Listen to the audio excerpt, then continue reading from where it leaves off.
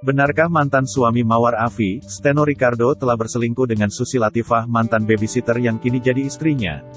Apa bukti yang dimiliki oleh Mawar Afi terkait tuduhannya tersebut? Bagaimana reaksi Steno Ricardo mengetahui bukti yang dimiliki mantan istrinya itu? Skandal perselingkuhan Steno Ricardo dan Susi Latifah mantan babysitter Mawar Afi tampak makin panas.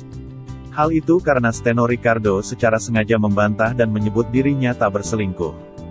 Padahal, bukti-bukti menyatakan Steno Ricardo dan Susi telah bermain api di belakang Mawar Afi.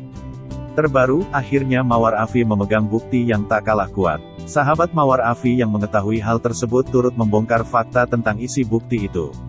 Ternyata, bukti tersebut adalah transfer uang yang cukup fantastis. Setelah Steno Ricardo membantah berselingkuh, Mawar Afi langsung belak-belakan mengunggah bukti video. Steno Ricardo yang disebut-sebut main api di belakang Mawar Afi itu pun kini telah menikah dengan mantan babysitternya. Namun beruntungnya kini Mawar Afi memiliki bukti kuat tentang perselingkuhan keduanya. Sahabat dekat Mawar Afi, Fahmi Adityan, mengungkapkan perihal babysitter yang berulang kali izin kerja dalam waktu yang lama.